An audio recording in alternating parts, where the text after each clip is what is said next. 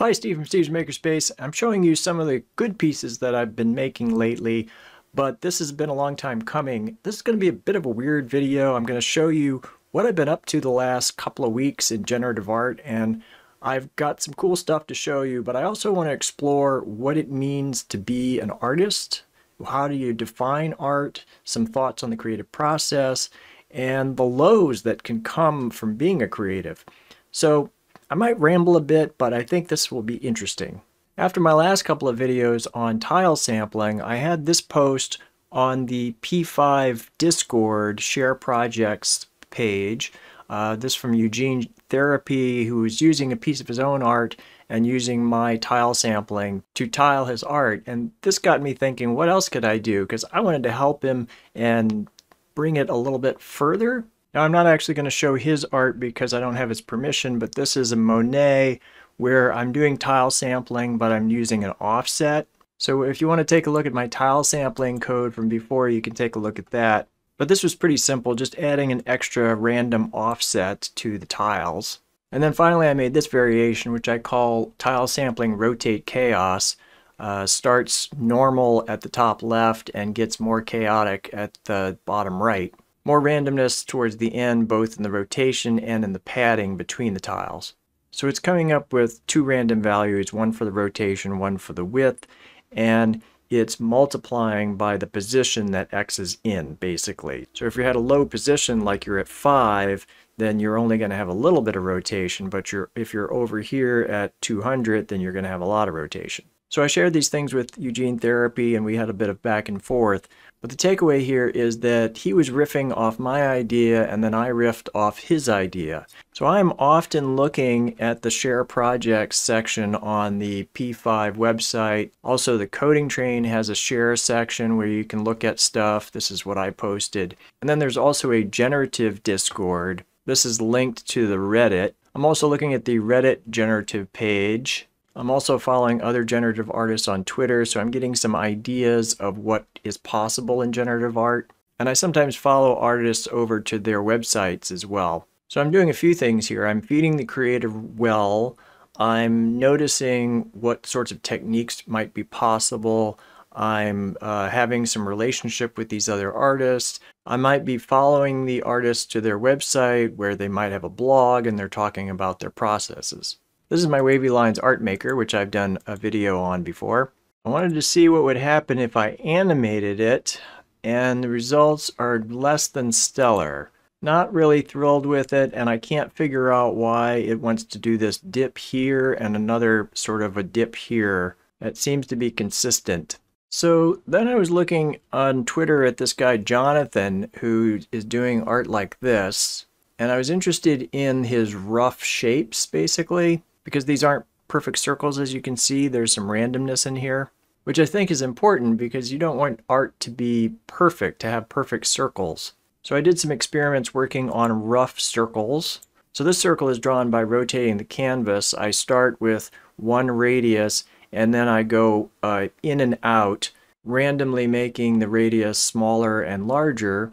But as I get close to the end I'm at 280 degrees around the circle I start to get the radius to be back to what it originally started at. So that's how I complete the circle. But unfortunately using this method I'm not able to fill the circle. So I tried using the curve vertex to fill the circle and I got this sort of an orange slice which is interesting, not exactly what I wanted. But let me turn the no loop off and we'll get that. So that's okay. But here's what I came up with for actually filling the circle. So it's uh, instead of rotating the canvas, I'm using cosine and sine to make a circle, except that uh, I've got some randomness for the radius. So if I didn't have any randomness to the radius, it would draw a perfect circle using cosine and sine as it went through the 360 degrees. And again, as it crosses 280 degrees, I'm trying to get closer to where I started with the radius. So this one I'm trying to use hash marks. This is also using clipping. Uh, if you look up get context 2D clipping, uh, you'll find something on that. So if I get rid of the clip, you'll see that this is actually what's being drawn in the background, but then this clipping function shows only what's within the circle. And the way I'm doing the hash marks is a bunch of rectangles, and there's actually two passes for the hash marks. If I get rid of one of the passes for the hash marks, you'll see hash marks only in one direction. If I took this I and J, you'll see the hash marks go in the opposite direction. But I can't just do rectangle I and J twice. I'll show you what happens. It sort of tries to do both at the same time, but you can see it's there's a division here where this part of the circle is horizontal and this part of the circle is vertical. So I actually had to run the process twice in order to get the hash marks. But what's happening here is it's drawing a whole bunch of tiny rectangles from the top left down to the bottom right. But sometimes it's filling the rectangles with white and sometimes it's filling the rectangles with black. Rather than have that completely random, I'm basically turning a switch to have it switch on to black and then switch off to white. So each time it moves, it has a 1 in 10 chance of switching from white to black or black to white. And I'm basically reversing the direction, the same way you would reverse the direction of a bouncing ball. So then I saw this guy, Arash Barani, doing this, and you can see a few variations here. So I wanted to see if I could replicate this idea. So I started with this, and I ended with this. I put it aside because I just wasn't getting what I had hoped I would get. So I think what this guy was doing was a lot more complicated than it seems. I'm just going to have to study it some more, but so far it's kind of a mystery to me. So then after experimenting with making shapes, I produced this. I'm going to comment out the tiling part of it, and so it's drawing shapes like this. I already talked about the hashtag drawing. Uh, this is a simple rectangle. This one is using Perlin noise. So here I'm going through that particular rectangle, uh, grabbing some noise. I'm actually using 50% Perlin noise and 50% random noise. I kind of like it better than pure Perlin noise for some reason. And I've already talked about tile sampling in a previous video, but what I'm doing different here is I'm iterating the tile sampling more than once. And rather than rotating the tiles completely randomly, I'm only rotating by either 45 degrees or 90 degrees or 180 degrees. I also thought to actually put the tiling in its own function. So I've got a drawing function and a tiling function. So if I do the drawing function twice and the tiling function once, I get something like this. Or I could do the drawing and then the tiling and then the drawing again and the tiling again. And then I get some more complicated shapes. Now this is interesting, I think, but I don't know that I would call this art. I think it's kind of trying to be art. This one is kind of nice, but I'm not having a lot of success getting good pieces out of this particular process. And I think it's because this drawing is pretty boring. I also have my mini mandala maker, which I've shown on the channel. So I thought I would try doing tiling with this, and this is the result, and I am not really happy with it. So again, kind of a failure. I don't think I would want to put this on my wall to show off to my friends and I wouldn't be posting this to Twitter. So we have our public persona, you probably heard this before on social media, and the same is true with art. We're posting our best art, which makes sense that we would post our best art. But try not to compare what you're doing to what people are posting because they're going through a lot of failures before they get to that good stuff. There's sort of a salesperson point of view here where the salesperson is going to knock on 10 doors to try to get one sale and they don't think about the nine rejections or they think great i've had nine rejections. That means i'm due for a sale. So it's kind of like that with art. You're going to have lots of failures before you have success. But i have to be honest with you it was at this point where i wasn't really producing anything that i thought was great that i started to feel low. I think there's an idea that we're only as good as our most recent success I think YouTube content creators are like that. I think artists are like that. There is a danger to that thinking, of course, because I am not defined purely by what I create. I do define myself as an artist, but that doesn't mean that my value is tied up in what I've produced most recently. But if I could talk about the lows for a minute, I don't suggest that we should try to be depressed. Um, clinical depression is a problem. You don't want to get stuck in that. It's hard to pull yourself back out. But you might have a few days where you're just feeling low. That's not necessarily a bad thing. Sometimes it's a fallow period, it's a natural part of the process. There might be gifts in the low space and hanging out in kind of the dark for a little bit. There may be something you're learning.